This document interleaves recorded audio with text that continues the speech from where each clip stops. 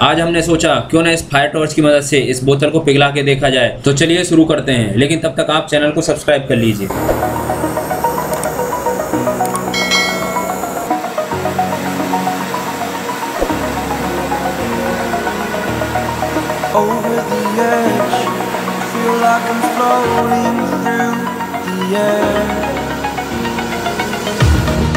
Pain I felt is paid for. Oh.